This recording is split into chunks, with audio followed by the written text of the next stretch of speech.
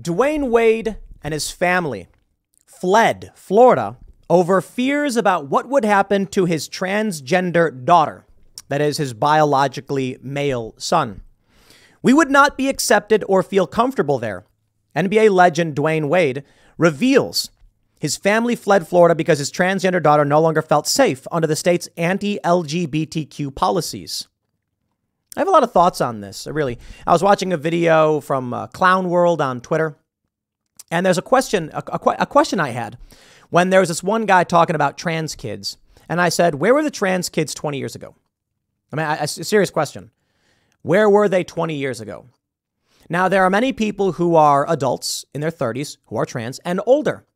So, where were they? Is what I'm asking. I'm not saying they didn't exist. I'm saying, like, what was going on in their lives when they could not transition? In the 90s, there was some effort in this direction because hormones existed. And this stuff probably existed into the 80s. But let's go back even further. Let's ask the real question. In the year 1900, where were the transgender people? Did they exist? Well, I, I, I, mean it quite literally. What's the argument from the left? Is it that they did, but there was no means because no technology, so they just felt pain and dysphoria and there was nothing to do about it and technology was invented to treat that? Is that the argument? I'd assume that's what they'd argue. Let's read the news here. NBA legend Dwayne Wade has revealed that he and his family left Florida due to what he claims are restrictive policies that infringe on the rights of LGBTQ people. The former Miami Heat star has four children, including 15 year old daughter Zaya, who came out as transgender in 2020. I gotta stop there because this language is confusing to people. Is a 15 year old male child who came out as transgender. She has since legally changed her name and gender, with Wade being outspoken in support of her. The three time NBA champion had Zaya with his high school sweetheart and first wife, Siobhan Fun, uh, Fun, Funches, in 2007 before his marriage to Gabrielle Union. He has spoken about the need to accept and embrace people for who they are, regardless of their gender identity, etc., etc. Now, there's some interesting questions here. This is uh, this is Dwayne Wade's male child, who is uh, not identifying as a, a, a woman, still male though. There are questions I have for the right and the left. Uh, let me let me play this clip for you. Actually, I think we can play this clip. Is there any sound? State legislators who. Here we go. Start over. What do you have to say to some of those state legislators who maybe have your jersey in their closets, who came and brought their kids to your game to yeah. cheer for you? Um, well, you know, I think that's, that's that's another reason why I don't live in this state. A lot of people don't know that I have to make decisions for my family, um, not just personal individual decisions. I mean, obviously the taxes is great. You know, having Wade County is great, but my family would not be accepted or feel comfortable there. Um, and so that's one of the reasons why I don't live there. Okay, well, sure. I wonder what this will lead to in terms of polarization in this country with people of varying ideologies going to different places. Here's what I think. Um, yeah, I don't care if Dwayne Wade's kid wants to be a woman and get surgery and do all that stuff. You know, like ideologically, I do care. I want this kid to grow up and be happy. I want them to live a good life. I want humans to thrive and succeed. I suppose if you want to sterilize your child and your child wants to be sterilized, I don't know what else I can say to that. The end result will just be a more conservative future. And it almost makes me feel like Bill Gates and Klaus Schwab and the Davos group just despise liberals and what people refer to as NPCs. I think about it like a sheep and a shepherd. A shepherd tends to his flock of sheep, but eventually leads the sheep to their, well, I mean, to be consumed or to harvest their wool or whatever. The sheep don't know what's going on, don't know. Or think about it like cattle. Cattle live good lives, beef cattle. And then one day they go into a machine and they're dead. Don't even realize what happened. Then we eat them and it's just over. So right now, I look at what's happening in this world and I see sheeps and shepherds. I know it's not sheeps, calm down. And I wonder if people like Dwayne Wade are just sheep, right? The, the machine goes to them and tells them to sterilize their children, and they say, okay. Isn't that kind of a screwed up thing to tell someone? Have you considered sterilizing your kids? Might make them feel better. Have you considered aborting your kids? Hmm, maybe you'll live a better life, have more money for you. It does not seem like something you would tell someone you care about. So that's interesting. Conservatives begging the left to not sterilize their kids and not to abort their kids. And the left, adamant they must. So when I look at the policymakers, when I look at people like Wade and what he flees to, he is fleeing to a place that perceivably hates him and his children, despises and hates and loathes. So when Ron DeSantis says, you can't do this to your kids, and they say, but we want to, it seems like Ron DeSantis is trying to protect them.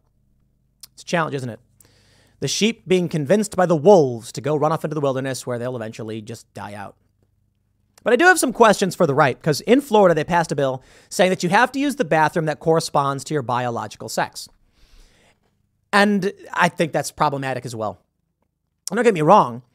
You don't want to see like a six foot three male or a morbidly obese, you know, pedophile looking dude going in the girl's bathroom. But what about someone like Blair White or Buck Angel, who uh, are, are, great people? And um, I've never met Buck Angel, but Blair White, of course, a great friend of the show. But there are many people uh, uh, like Buck Angel's very much spoken out against a lot of the really awful components of what's been going on in, in the culture wars. For those not familiar, Buck Angel is a big, burly looking, masculine female. Looks like a biker dude, you know? This big, ripped, six foot something dude walking into a, well, I don't know if Buck Angel's six foot, but like, you know, a very masculine looking, manly individual walking into a woman's bathroom is going to cause problems. Blair White going in the men's room is probably going to cause issues. So, like, how do we actually navigate this? Cassandra Fairbanks says you should just go to the bathroom for what you look like the most and try and mind your own business. But in Florida, they're also creating unisex bathrooms too to alleviate that issue. That says to me, the fact that they've created an option, unisex bathrooms, bathrooms will be labeled, solves the problem. I look at someone like DeSantis, I look at Florida, and what do I see? Conservatives care about helping these people and about creating a real solution to the issue of the bathrooms. Not just to ban someone saying you can't use the bathroom, but like, okay, well, we, we did a third one then that anybody can use. That way, no one's being deprived, right? But the left isn't satisfied by this. They want to sterilize their kids. So they will take their kids and they will flee the state. What happens when you get a mother in Florida who wants to castrate her son and flees and goes to a state like, I don't know, Washington or Colorado, where they're going to sterilize the child? Something I've talked about many times. What can a father do if his son's been taken from him and they're going to sterilize that kid?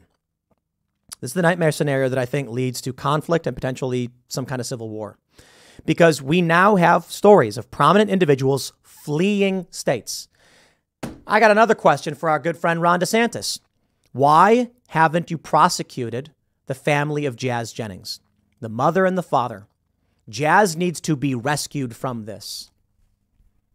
Because I don't know if the conviction is really there to actually do it, but I tell you what, it should happen but it probably would lead to conflict as well.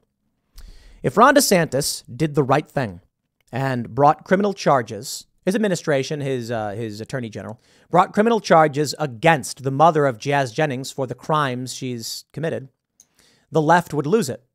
And they would say he's now seeking to arrest families who provide gender affirming care to their, to their loved ones. But the reality is, Jazz Jennings' mother has been deeply abusive. What do you do? Sit back and do nothing?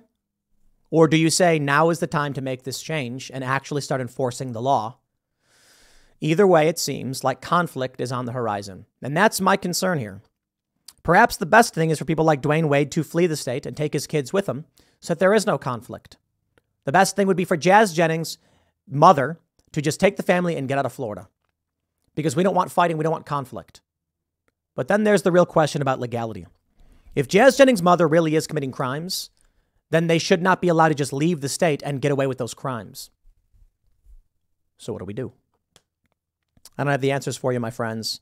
What I do think is that many of these young people, it's it's it's it's going to be interesting when you have prominent people like Dwayne Wade having a child who transitions, probably now sterile, especially if they un- if, if they undergo what they call uh, bottom surgery, then definitely unable to have kids. What are these people going to be saying in their 20s? I don't know. One of the reasons I think the left is so hell bent on transitioning kids at a young age is to make sure they don't have any sexual desires. It's almost like the end goal is just to do away with people they deem stupid, which is why I think Bill Gates and Klaus Schwab, the World Economic Forum, they despise liberals. They're just more evil than you. While conservatives despise liberals, they don't want them to die. But the powerful elites despise liberals and are trying to convince them to end themselves. It's creepy, isn't it? I'll leave it there. Next segment is uh, tonight, 8 p.m. over at youtube.com slash timcastirl. But check out the Culture War podcast at youtube.com slash timcast for the latest episode. Thanks for hanging out, and we'll see you all next time.